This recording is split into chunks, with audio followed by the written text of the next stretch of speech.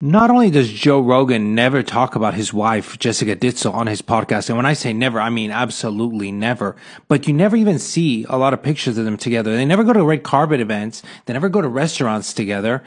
Literally, maybe three or four pictures have been taken of them in the past 10 years. Don't you think that's a little strange? Check out this rare picture of them together. You notice something?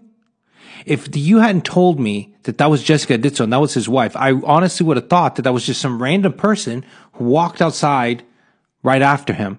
And that's not a coincidence. They specifically go to places not together. They go at different times, one after the other, and they exit at different times so as to never really be seen together. So the paparazzi don't take a lot of pictures.